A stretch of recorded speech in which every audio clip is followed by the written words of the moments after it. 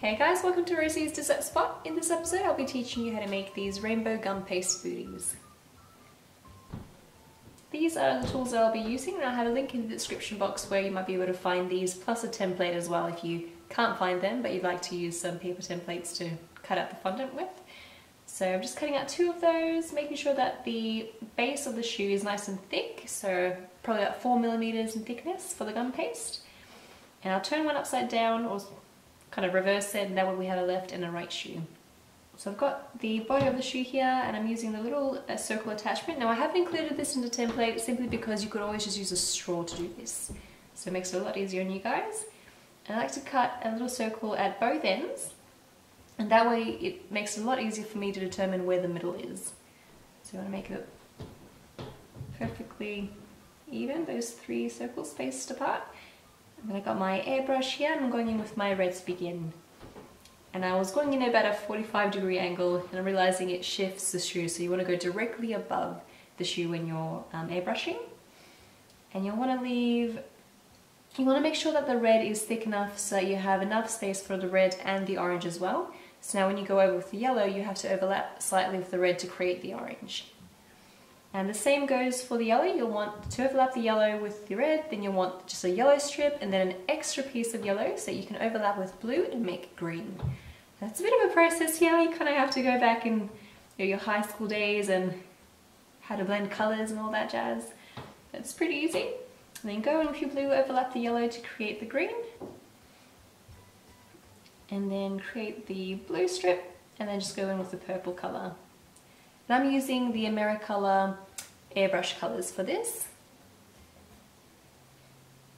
And then I let those set and in the meantime I'll start forming the rest of the shoe. So I have the tongue here and I'm going to add a little bit of edible glue to the edges of my sole here.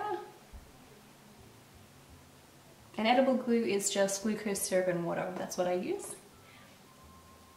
And then attach just around the edges of the tongue and just attach it to the base and then add a little bit of cotton buds or something into the middle there that'll help to keep it in shape. So you want it standing and you want that top tongue to be lifted as well. And then I'm going to start assembling the rest of the shoe, so I've got the body here.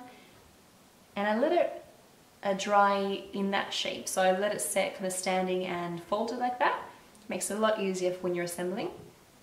And then just press it against the bottom where you attached, where you added that glue and just help it adhere. And then I add a little bit extra at the top so that the section with the holes would stick to the tongue and that'll help it to remain lifted as well. So I've got a better look at how I'm doing it here, making sure to attach it at the bottom, press it all into the sides and same on the tongue as well. Might find that you need to add a little bit extra edible glue for the top part.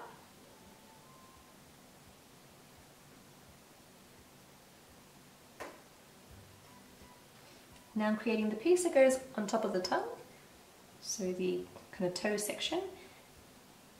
And I'm just imprinting a kind of stitching sort of pattern at the top and around the sides as well. But you don't actually have to do the sides because they're going to be covered anyway, I realized afterwards. So you can skip this section if you like.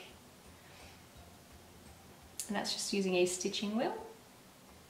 I'm going to add edible glue to the front of my shoes and add on my little toe section.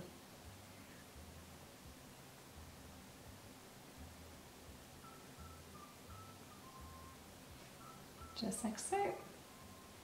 I'm using a ruler to cut out strips of fondant and that's going to go around the whole outside of the shoe.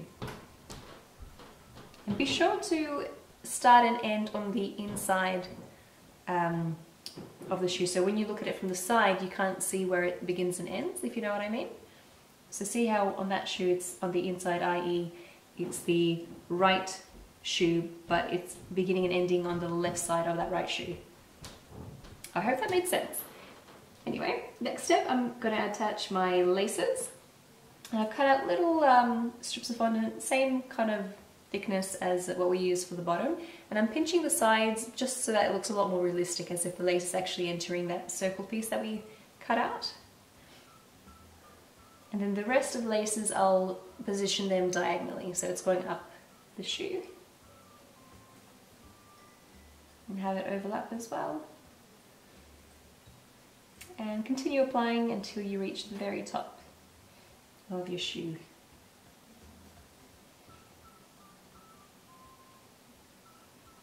I'm going to make little bows to go on top. And I've just kind of folded in so I have two loops. Then I'm sticking it together in the center and adding just a little piece on top of that so you can't see where it begins and ends. So that'll be like the little knot in the center. And cut off any excess.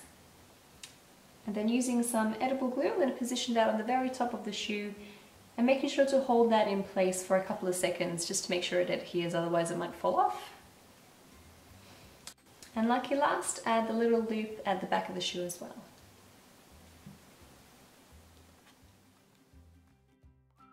And that's how you make rainbow gum paste booties. Thank you guys for tuning in. I hope you enjoyed this tutorial. These are really, really easy to make if you have an airbrush. Uh, although if you don't have an airbrush, you can try your luck with some coloured uh, luster dust and might not blend as well if you use powders compared to an airbrush. But I think it can be done. If you guys would like to see that tutorial, definitely let me know. Thanks again for tuning in and I will see you next time.